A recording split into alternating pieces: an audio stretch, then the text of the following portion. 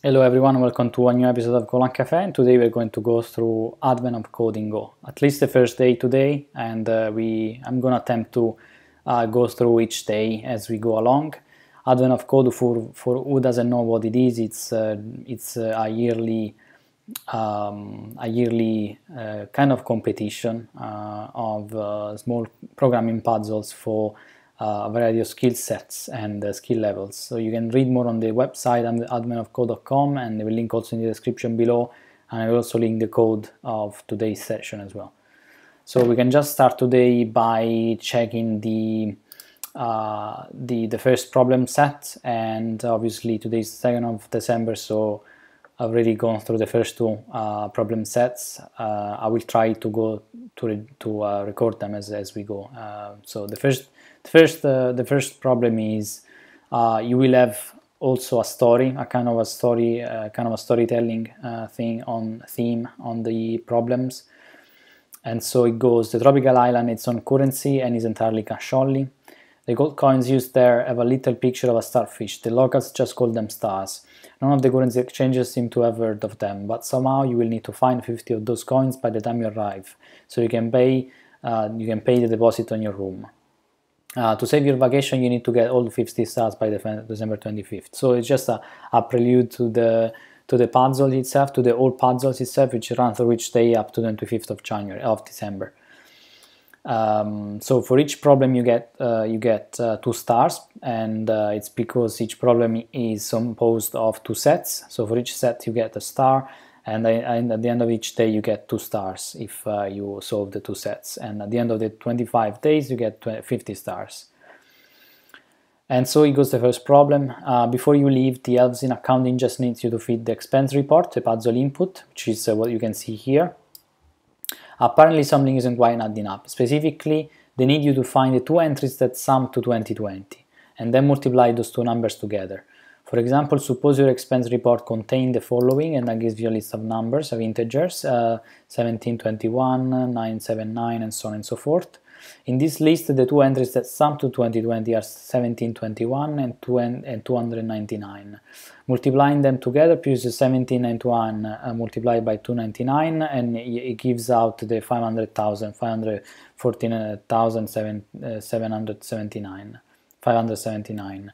So the correct answer is uh, 514579. That's what you get as, uh, as an example. So it gives you an, it gives you an input example, then it gives you uh, a, a, problem statement and then uh, it gives you also the actual output that you are supposed to get from this uh, example here and then it gives you a input um, it gives you a puzzle input which is uh, what we're going to use for our problem which is a, larger larger set and this is what we're going to use today. I already obviously already solved this so I'm just going to throw the reasoning and the pro and the actual uh, implementation of that in Go.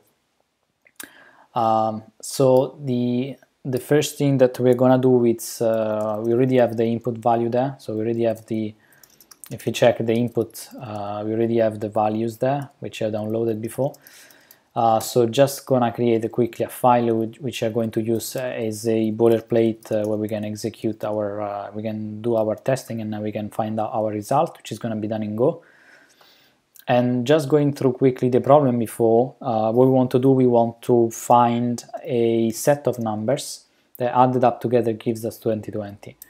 So 2020 is the final output. Those set of numbers, let's say those set of numbers x, x and y. How do we find out if those two numbers are in the set? Well, first, uh, the first thing that I would do is uh, is uh, is going through the list and uh, for each of those items then uh, you would have to so the the first principle would be basically to try all the combinations right so trying all the combination is that you uh, you have a um, you have a um, n by n uh, complexity. You have an n squared complexity because you have to try all the combinations uh, of all the entries in your uh, in your um, in your list obviously right? So if you go through all of them uh, and then for each of them you you go again through each item and then you multiply them together and you see if that adds up to 2020 then uh, you are going to find out the result but that's uh, not very efficient Another way that you could do that, uh, we could do that is by using hash maps. Obviously, hash maps are uh, very useful in a lot of different contexts, uh, and in this context is uh, it's very handy because the first thing we're going to do, we're going to load the data into the hash map. Then we're going to go through the hash map, and for each item, uh, we are going to um, we are going to subtract 2020. To, so 2020, we're going to subtract the item that we find in the map and then we're gonna get a result and then we're gonna check if this result is within the map just by using constant time. So in this case what we can do, we can just uh, iterate through the map linearly and then using constant time to check if the item is in our map. And why that makes sense? It makes sense because if you uh, move, if you take this equation and you move uh, and you move uh, the um, and you flip the equation, uh, or rather like since we have 2020 equals uh, x plus y and you would like to solve this equation uh, you want to bring back y to the other side of the equation let's say and then you get x as a result. So let's say that we iterate the map iterate through the items of the map and we assume that uh, each of those items is y. Then we subtract uh, from 2020 we subtract this item and we get a number x and then we need to do one last test, which is uh, check if x is in the map again. So if x is in the map, it means that x is already in the map because we iterating through the map, we know that it's in the map. x is also in the map because we accessed it uh, directly, which is uh, our list of numbers. And then the x plus y is equal to 2020. And that will, uh, that will allow us to, uh, so we first need to first load uh, the list into a map, which is uh, which is uh, linear time. You need to go scan through the list. Then uh, once we do that, uh, we for each uh, for each item we call it y in the map. we do the following, and this is also linear time, so it's it's linear time as well. It's not n squared as we would do if we were doing the recursive the, the double loop inside the list.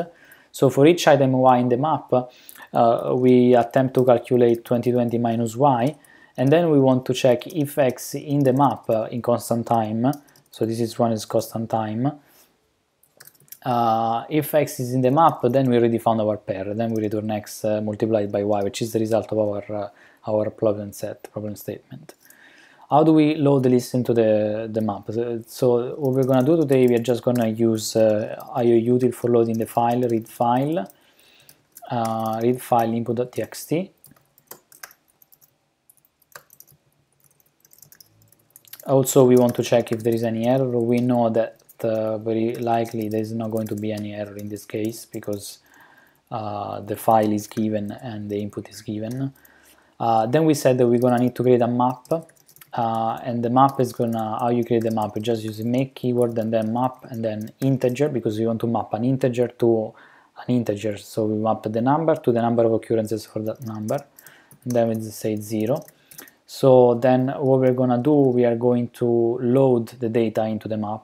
And uh, we can do that by using uh, bytes.split because uh, data from read file is a byte slice and we use the utility bytes.split uh, to split the byte slice uh, by bytes uh, pattern. So we just use the new line as a pattern. So it's going to be split by new line and we're going to have uh, a byte slice of uh, byte slices where you have a, a for each line you have all lines and then uh, we are gonna populate this line into the, we are gonna convert this line into integer and then saving it into the map. So uh, the integer value uh, using string conv package ASCII to integer function and then uh, we convert the line to string because it's a slice and we convert it to integer. If uh, there is any error with the conversion, we just print uh, whatever we've got and we continue to the next uh, line and then we just uh, do map of number plus plus. So now we did the first iteration, which is linear time. So now the next one is just going through the numbers uh, that we got in the map. And we said that for each number, and we call them y, uh, we go through our map, range m. Okay, so when we range the map, we get key and value. So we ignore the value, which is the number of occurrences. In this case, we don't really uh, care for the number of occurrences here. Uh, we also then now we said that we want to calculate 2020 minus y and get x and we want to check if this is this is a candidate this is a candidate for our pair numbers. And then we want to check if our x is uh, the right candidate for our pair of numbers if x is in the map. Um, how do we check if x is in the map? We just can use this notation where we can uh, retrieve data from the map and that gives you a two values item. So you get the, the, value and whether the item is in the map or not. So you get x, uh, we want to check if x is in the map. If uh, is in the map, then we know that uh, this is a pair, so we already know that y is one of the items, x is one of the items, we just need to print it out and find which one is the uh, you know which we need to find find out uh, this the multiplication of those two uh, which we are going to do now. X y x y x multiplied by y. And then once we find this out uh, we are going to return because we we don't need to check anything else. Uh, we also need to import all our dependencies which is going to be bytes, UUD, log, and stripcom, srtconv, and then we attempt to run one.go. So we get this uh, parsing error is probably because the input um,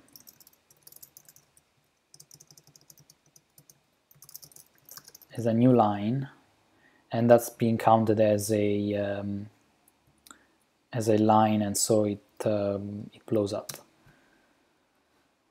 Uh, but we got the our uh, we got the actual output. Uh, obviously, you need to use printf. So the println or printf. And so you see that uh, 1819 plus 20, uh, 201 is 2020. And then you also have the actual result, uh, which is 365,619 which is what we would expect here, 365,619. So this is our first set of the problem. And the first set uses the same input, but it's just a slightly different problem constraint. And it says, um, uh, so the account are thank thankful for your help. One of them even offers you a Starfish coin they had left over from a past vacation. They offer you a second one which you can find uh, if you can find three numbers in your expense report that meet the same criteria. So now it's exactly the same thing, but this time uh, instead of uh, just two numbers, we're going to find three numbers that adds up to the same uh, to the same uh, to the same criteria. So now what we want to do um, for each item y in the map, uh, we have a so the first thing we're going to change in this equation is that we're going to add a third number, which is x plus y plus z and consequently what's going to happen is that uh, 2020 minus y uh, is equal to x uh, plus z. So is equal to a certain number s. And then once you have that number s uh, then you can uh, so it's equal to x plus z. So x plus z let's say that this is equal to s for uh, simplicity for simplicity. And so if we have to find out then uh, if uh, if we have to find out then if um, those two numbers are uh, in our set we do the same thing. We go through the map again. We take s we subtract z uh, and then we take uh, we take uh, x. And then we check if x is in the map so here there is another loop, so this time uh, we're gonna need to use uh, the um, n squared, uh, the, the, n squared complexity because you're gonna through we are going through the map uh, twice. So we're gonna uh, through, through, the map twice once we get this this sum s. So now 2020 minus y we said is going to be equal to s, which is represents x plus z then what we're gonna do, we're gonna do for each item uh, uh, x, we call it x, in the map again, uh, what we're gonna do, we're gonna do z equals uh, s minus x, which is our item, and then if z is in the map, then return x multiplied by y multiplied by z and this is pretty much the same it's just that there is one more layer where we need to do the um, uh, this abstraction and we need to do the need to find out whether that uh, final number is is in our uh, is in our result is in our list So we change the, result, the name here to S. Uh, we go through the, uh, the numbers. So uh, here we used Y, so now we're going to use X. So for X, range, range M, uh, what we are gonna do is uh, we said uh, we said it's equal we need to test if it said is in our list. So the remaining sum minus x and then we just copy paste what we've done before. Just that now obviously iterating two times inside the loop so this is z. We need to test that z is inside. If z is what we need to do what we expect and we we just uh, debug and we print it out. So we uh, add z here. X y z. X y z. And then we also multiply x y z. I think that's everything we need, uh, if I'm not wrong. Uh, let's see now, I think also yeah, z line 37, I need to declare z, and I think that's everything. And you can see here you have a 236 million, uh, which is uh, 236 million, which is what we were expecting from the problem output here. So this was the first day of Advent of Code. Hope, uh, hopefully you liked it and uh, see you the next one, hopefully the next day. Thanks, thanks for watching.